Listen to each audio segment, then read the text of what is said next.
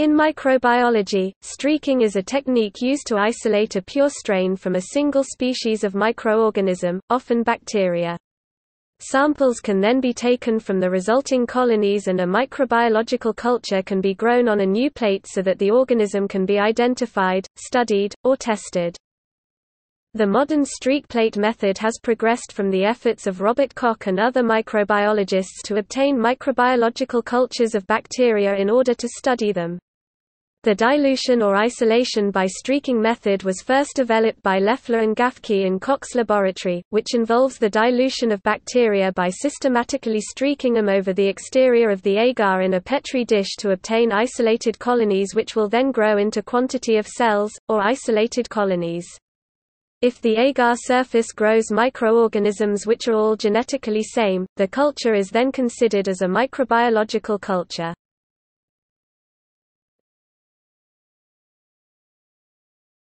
Topic: Technique. Streaking is rapid and ideally a simple process of isolation dilution. The technique is done by diluting a comparatively large concentration of bacteria to a smaller concentration. The decrease of bacteria should show that colonies are sufficiently spread apart to affect the separation of the different types of microbes. Streaking is done using a sterile tool, such as a cotton swab or commonly an inoculation loop. Aseptic techniques are used to maintain microbiological cultures and to prevent contamination of the growth medium. There are many different types of methods used to streak a plate. Picking a technique is a matter of individual preference and can also depend on how large the number of microbes the sample contains. The three-phase streaking pattern, known as the T-streak, is recommended for beginners.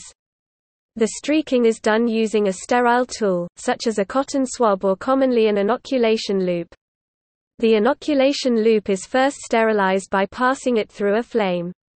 When the loop is cool, it is dipped into an inoculum such as a broth or patient specimen containing many species of bacteria.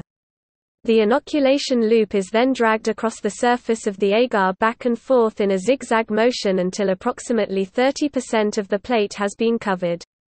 The loop then is re-sterilized and the plate is turned 90 degrees. Starting in the previously streaked section, the loop is dragged through it two to three times continuing the zigzag pattern. The procedure is then repeated once more being cautious to not touch the previously streaked sectors. Each time the loop gathers fewer and fewer bacteria until it gathers just single bacterial cells that can grow into a colony. The plate should show the heaviest growth in the first section.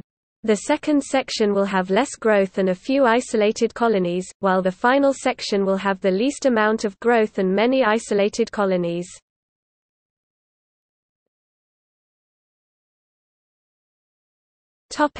Growth medium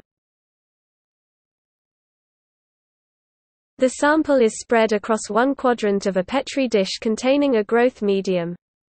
Bacteria need different nutrients to grow.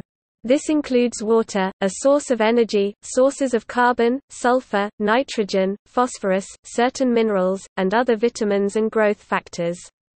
A very common type of media used in microbiology labs is known as agar, a gelatinous substance derived from seaweed. The nutrient agar has a lot of ingredients with unknown amounts of nutrients in them. On one hand, this can be a very selective media to use because as mentioned bacteria are particular.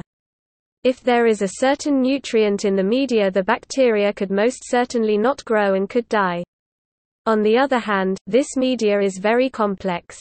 Complex media is important because it allows for a wide range of microbial growth. The bacteria growth can be supported by this media greatly due in part to the high amounts of nutrients. Choice of which growth medium is used depends on which microorganism is being cultured, or selected for.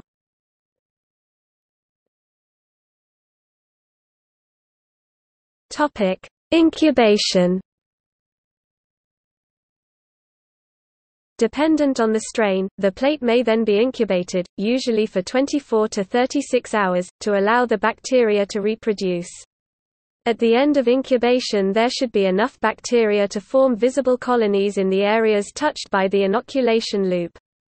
From these mixed colonies, single bacterial or fungal species can be identified based on their morphological size, shape, color differences, and then subcultured to a new media plate to yield a pure culture for further analysis.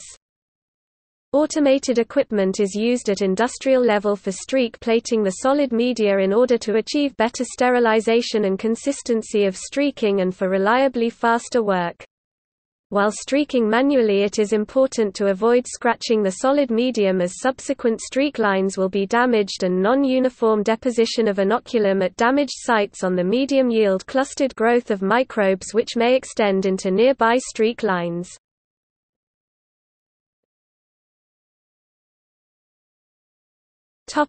Importance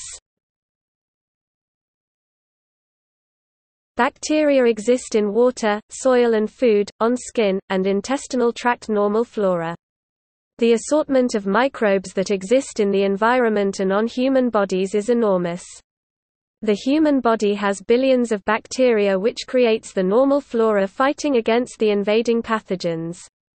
Bacteria frequently occur in mixed populations.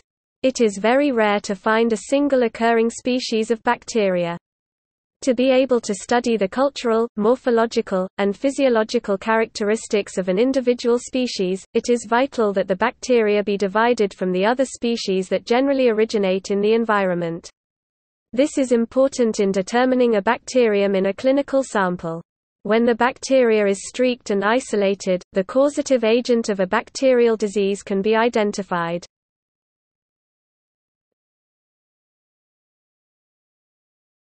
Topic. See also. Bacterial lawn